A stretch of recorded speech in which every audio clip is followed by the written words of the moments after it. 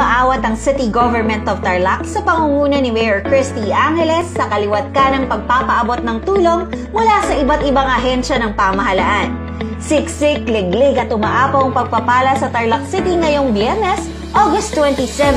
Sinimula nito sa 144 beneficiaries para sa tulong panghanap buhay sa ating disadvantaged o displaced workers o TUPAD. Naging posible ito dahil sa mahusay na pakikipag-ugnayan ni Mayor Christie sa Department of Labor and Employment o DOLE sa tulong ng Marino Party List. Sinigurado rin ni Mayor Christie katuwang Department of Social Welfare and Development o DSWD na naipapaabot ang tulong pinansyal para sa mga lubos na naapektuhan ng pandemya at mga nasulanta ng bagyo kamakailan.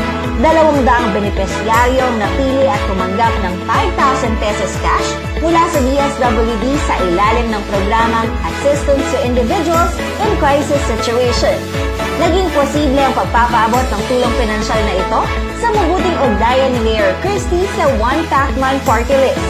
Kasabay nito, naipaabot na rin ang financial assistance sa mga nasalanta ng bagyong Ulysses.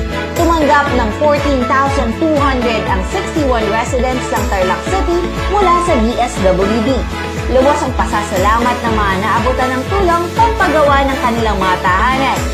Tiniyak din ni Mayor Christie na naipatupad ang lahat ng safety protocols tulad ng social distancing, pagsusuot ng face mask at face shield, at sumailalim din sa libreng antigen swab testing ang lahat ng dumalo sa mga nabanggit na programa.